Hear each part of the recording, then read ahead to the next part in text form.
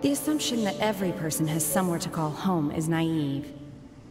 I got used to living in the mountains alongside the birds and beasts a long time ago.